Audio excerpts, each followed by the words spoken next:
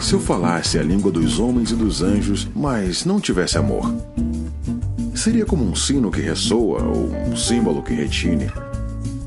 Se eu tivesse o dom de profecias, se entendesse todos os mistérios de Deus, e se tivesse todo o conhecimento, e se tivesse uma fé que me permitisse mover montanhas, mas não tivesse amor, eu nada seria.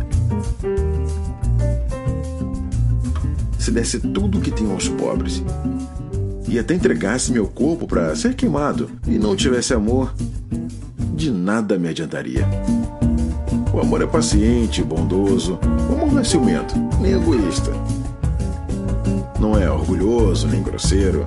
Não exige que as coisas sejam do seu jeito. Não se irrita, não guarda rancor.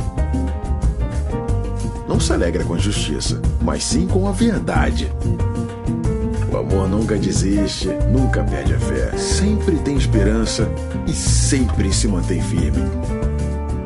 Um dia a profecia, línguas e conhecimento vão acabar, mas o amor vai durar para sempre.